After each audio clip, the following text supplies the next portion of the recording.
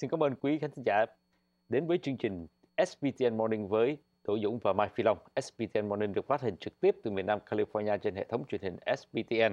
Thưa quý vị, hôm nay là ngày thứ năm 12 tây tháng 12 năm 2013. Xin chào anh Đỗ Dũng.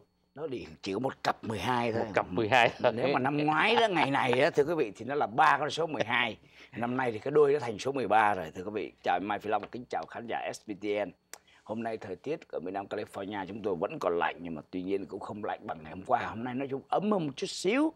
À, và chương trình hôm nay thì hy vọng sẽ làm quý vị ấm lòng hơn nhiều cái nữa qua những câu chuyện à, xảy ra trên thế giới hàng ngày trong cuộc sống chúng ta và xin mời anh Long cho mở đầu chương trình ngày hôm nay bằng cái uh, những cái tin tức liên quan đến Tết hay gì đó thưa anh như thế nào? Vâng thưa quý vị, ở miền Nam California chúng tôi đang chuẩn bị ăn Tết nhưng mà lần này Tết đang có một số cái vấn đề mà được uh, nhiều người trong cộng đồng quan tâm đến vấn đề này và cái chuyện này đã từng xảy ra vào năm ngoái và năm nay tiếp tục xảy ra. Đó là ngày hôm qua ở tại thành phố uh, hội đồng thành phố Westminster đã có một cái phiên điều trần nghe hai bên về cái chuyện diễn hành Tết trên đường Bonsa. Và trong cái chuyện diễn hành này thì phía bên ban tổ chức không cho phép những người đồng tính được tham dự cái diễn hành Tết này. Và đây là cái lần mà uh, đã có một cuộc bỏ phiếu trong những người ban tổ chức uh, cách đây một vài tháng rằng là Vâng. họ không một đồng tháng, ý hơn một tháng. Dạ, dạ. họ không đồng ý cho đồng những người đồng tính ừm, tham gia trong cái chương trình diễu hành này và ngày hôm qua thì là các phiên họp của hội đồng Westminster tại vì cái cuộc diễn hành này diễn ra trên khu ờ, vực Westminster. Trên đường lộ trên đường Bonsa cho nên là hai bên đến để có phiên điều trần. Và cái kết quả thì không bất lợi cho phía người đồng tính. Như thế nào anh Đỗ Dung? Vâng.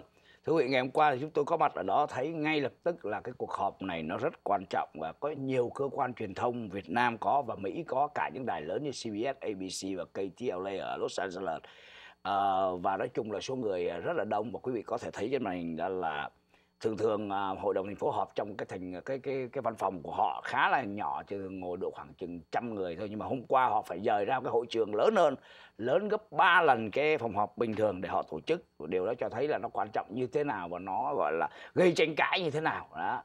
Ờ, à, nhưng mà cuối cùng thành phố thì họ đi theo cái quan điểm là họ hoàn toàn thông cảm với những gì của người đồng tính phải trải qua ví dụ như người đồng tính nêu lên, hôm qua tôi đếm như vậy là gần 20 người bên phía đồng tính lên phát biểu, và mỗi người lên phát biểu như vậy đều có hai, ba người đứng đằng sau lưng ủng hộ. Nói chung là đa số người tham dự ngày hôm qua là người đồng tính, cái thiểu số rất ít, không phải là người đồng tính thôi.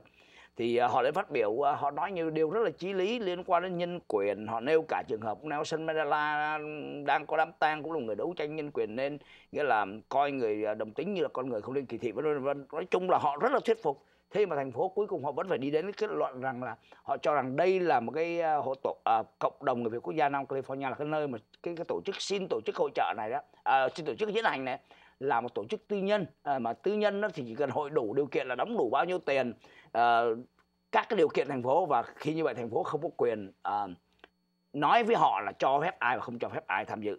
Nói một cách khác đây là một sự kiện riêng rẽ không liên quan đến à, à, quỹ của thành phố cho nên là thành phố không thể làm gì được và thành phố hầu hết các nghị viên đều nói là chúng tôi hoàn toàn thông cảm với chúng tôi không kỳ thị ai hết cả nhưng chúng tôi phải tôn trọng cái tự do ngôn luận của cái người ở bên ban tổ chức. Ban tổ chức thì nói rằng là à, chúng tôi không thể để cho người đồng tính đi được bởi vì người đồng tính à, cách đây 2 năm khi mà đi tham dự đó lúc mà thành phố tổ chức khi thành phố tổ chức thì đương nhiên thành phố không có quyền loại người đồng tính ra.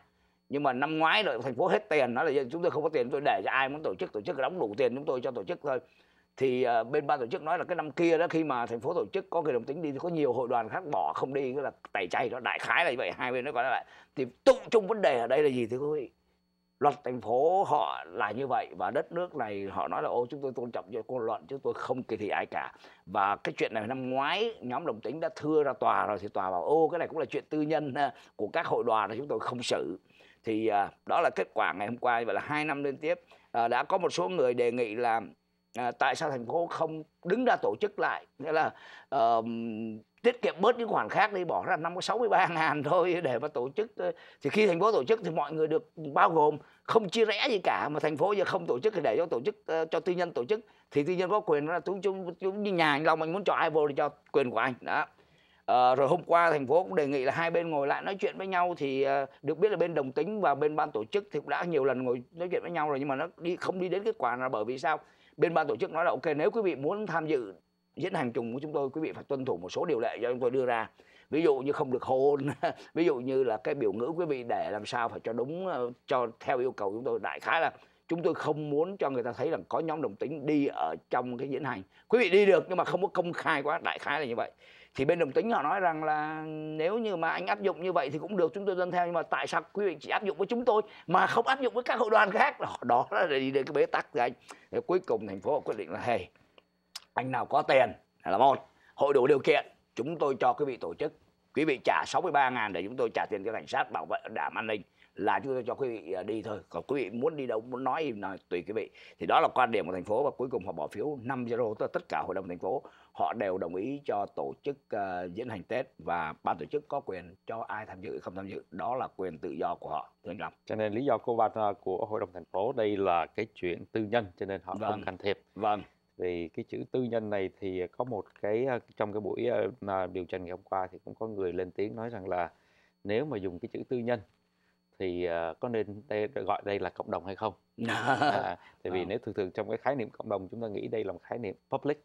À, vâng chúng ta nhưng mà là cái tổ chức vâng, thì là tổ chức này tổ không chức, phải cộng đồng, tổ vâng, chức cộng đồng không đại diện cho nhưng mà đồng. cái chữ thì người ta vâng, nếu mà vâng. tư nhân và cộng đồng thì cái này nó hơi ấy. Tại vì anh đóng đủ tiền anh hay là khách không cần đóng tiền là bây giờ tôi với anh có thể lập ra cái hội gọi là cộng đồng uh, uh, ký giả SBTN Morning cũng không ai cấm chúng ta cả thấy không chúng ta có đặt bất kỳ cái tên gì trên thế giới này miễn mà không nhưng mà nếu không ai làm hai hai chữ cộng đồng và Việt Nam vâng. vào với nhau vâng. thì chúng ta là thì tư là... nhân hay là chúng ta là hay cộng đồng? thực ra là tư nhân nhưng mà tại vì người nghe hiểu lầm. Bởi cái chữ cộng đồng Việt Nam là nó viết hoa chứ nó không viết thường. Nếu chữ cộng đồng mà viết thường đó thì mới là cộng đồng. Mà ngay cả viết thường cũng chả làm gì nhau cả. Tự do ngôn luận mà đúng không? Anh muốn viết cái gì anh viết không ai làm gì được anh hết. Thành ra những người nào mà hiểu lầm ráng mà chịu à, quý vị phải tìm hiểu. Thì uh, ban tổ uh, hội đồng thành phố nói đây cộng đồng người Việt quốc gia Nam California thì cũng chỉ làm cái tổ chức tư nhân mà thôi chứ không có đại diện cho cộng đồng. Thế nhưng mà khi mà đi tôi làm chủ tịch cộng đồng tổ chức này tôi vẫn có quyền ra nói ô tôi đại diện toàn bộ cộng đồng. Thậm chí tôi đại diện cả thế giới này cũng chả làm gì nhau hết á anh nhá tôi muốn à. có người nói gì cũng được đó là chuyện của chúng tôi. Và thưa các uh, quý vị uh, uh, đồng tính Việt Nam uh, tôi chỉ cái chỗ có một cái chỗ quý vị có thể đến mà nơi này quý vị sẽ không bị là phán xét uh, bởi một người. Ông người này đã trở thành người the man of the year 2013 và ông là người Argentina và ông là Đức Giáo hoàng Francis. Ông đã nói rằng là người đồng tính tôi không có quyền phán xét họ. Vâng. nếu mà quý vị đến Vatican trong ngày Tết tôi nghĩ rằng là à, ngày sẽ đón quý vị. Đó là cái chuyện uh, liên quan đến người đồng tính À, một cái chuyện khác cũng liên quan đến uh, những cái vấn đề xã hội thưa quý vị về một số cái quan điểm như ngày hôm qua hôm kia chúng tôi có đưa một cái bản tin liên quan đến cái chuyện tòa án đã phải xin lỗi một người. À, cái người mẹ này đến vào trong tòa và cho con bú. Khi bà cho con bú thì cảnh sát đuổi ra và tòa sau đó phải gửi lời xin lỗi. Và cái chuyện vấn đề được đặt ra là có nên cho để cho các bà mẹ cho con bú trước nơi công cộng hay không? Và bây giờ có một cái câu chuyện rất là hay câu chuyện này nổ lớn hơn là bởi vì có nhiều người nổi tiếng hơn tham dự hình ảnh như thế nào. Anh và thưa quý vị đó là cô siêu người mẫu Giselle Bündchen người gốc Brazil. À, ngày hôm kia cô đưa lên cái trang à, cái cái, cái um, Twitter của mình cái hình mà như quý vị thấy trong hình là cô ngồi cho con bú và có tới ba người đang trang điểm cho cô à, cô này thì nổi tiếng lắm một năm cô kiếm sơ sơ có 42 triệu thôi mà cô lại là vợ của cầu thủ quarterback Tom Brady. Hiện nay là một trong những quarterback hay nhất của NFL đang chơi cho đội New England Patriots ở bên Boston đó. thì cô này thì khỏi nói rồi.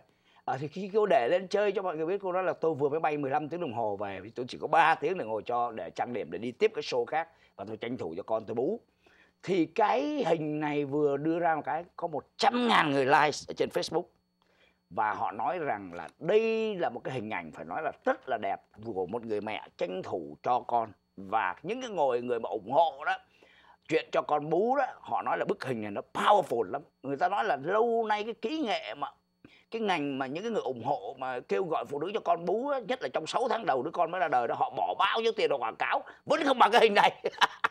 Đó độc đáo là cái chỗ đó và cái cô này đó trước đây đó cô đã từng tuyên bố khi có cứ có, có đứa con đầu tiên đó cô tuyên bố là cần phải có một luật khắp thế giới là bắt mọi phụ nữ phải cho con bú trong 6 tháng đầu đầu đầu năm. Trong 6 tháng đầu sau khi ra đời thì cái là cô cũng bị phản ứng dữ dội lắm.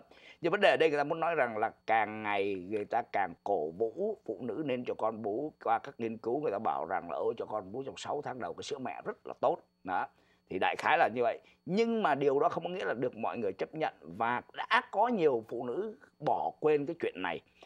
Trong đây cái bản tin cho biết ví dụ như là chỉ có 49% trẻ em ở nước Mỹ được bú sữa mẹ trong 6 tháng đầu năm. À, mà các cái tiểu bang á, mà có trẻ em mà được mẹ cho bú 6 tháng đầu năm thấp chẳng hạn như Mississippi có 19% thôi Arkansas 24% Alabama có 29% thôi. Không biết tại sao các tiểu bang miền Nam này con số lại thấp như vậy mà người ta nói là các một số tiểu bang khác còn nghĩa là thấp hơn nữa, đại khái là như vậy. Thì à, đây là một cuộc tranh cãi từ lâu và chúng ta biết trước đây à, họ đã từng dùng à, hình ảnh hai nữ binh sĩ thuộc lục chiến, mặc đồ thuộc lục chiến, nghĩa là vạch bú cho con bú công khai như vậy và đăng những hình đó lên, cũng bị phản ứng dữ dội lắm. Nhưng mà vấn đề ở đây người ta nói là phụ nữ càng ngày càng bớt cho con bú là vì bởi vì sao? Họ phải đi làm đó là cái mà chúng ta thấy là ngày nay như hôm qua anh Long đưa bản tin là cái cái thu nhập của phụ nữ vậy là, là ai bị thiệt thòi anh? Đó rồi ờ, một cái là bây giờ những cái loại sữa mà nó thay thế sữa mẹ nó có sẵn trên thị trường. Thay vì ngồi cho con bú nó mất công quá thấy không? À, phải lau phải này kia rồi cho con uống rồi nhiều khi phải lấy khăn che lại đi đâu làm gì nó bất tiện. Thì chúng tôi mua đại cái sữa bình cho nó uống cho lẹ. Nhưng mà đúng như anh Long nói cái đứa trẻ nó thiệt thòi thưa quý vị quý vị thử tưởng tượng con quý vị sau này lớn lên mà nó không có bú sữa mẹ chưa kể về mặt tình cảm nữa. Yes. nhiều khi trong những câu ca trong bài hát nó là bầu sữa mẹ. Uh-huh. mà lớn lên với đứa mẹ đứa con nó biết là ô mẹ mọi mẹ lo đi làm không mà đi kiếm tiền mẹ có cho tôi bú bao giờ đâu. Cái tình cảm nó cũng giảm đó anh công nhận không?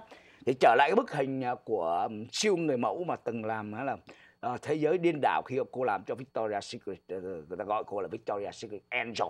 Đó bức hình này powerful lắm. Họ nói rằng là họ cảm ơn cô này rất là nhiều. Và à, trên Facebook và Twitter cô đã có cô này có tới 2 triệu follower nữa nhanh mà đã có một triệu sáu người vô comment trên bức hình này trong đó là khoảng 100 ngàn người like ở trên à, đó. À, và họ gọi cô là một role model. Super mom nữa. Họ dùng cái từ là super mom nữa. Cô dám can đảm đưa cái hình này ra. À, cũng có một số người tiếc rẻ là tại sao mà cô vẫn còn đẹp thế? Vâng à, qua câu chuyện này quý vị chúng ta để ý một chuyện uh, có khá nhiều người nhân danh là những cái uh, thuần phong mỹ tục hay là những cái quan điểm mỹ thuật nào đó uh, mỹ thuật và đạo đức nào đó à, trong cái chuyện này. Thì họ quên cái chuyện là đứa đứa đứa trẻ mà bố mẹ thưa quý vị sữa mẹ là sữa tốt nhất vâng. cho em bé cái thứ hai là khoa học đã chứng minh rồi cái tình cảm mà thiên liêng giữa mẹ với con vâng. mà trong thời buổi này thưa quý vị cái chuyện mà mẹ cho con bú chuyện vô cùng hiếm cho nên nếu chúng ta thấy một người mẹ nào đang cho con bú chúng ta phải mừng cho đứa đúng, bé đó mừng đúng. cho cái gia đình đó hơn là đi ngăn cản họ mà lúc đó người mẹ nó phải hy sinh dữ lắm phải bỏ thời gian cho con bú tức là không làm được những chuyện khác và có thể ảnh hưởng cái thu nhập luôn cho nên thưa quý vị uh, những cái thành kiến thì đều thường thường là có hại hơn là có lợi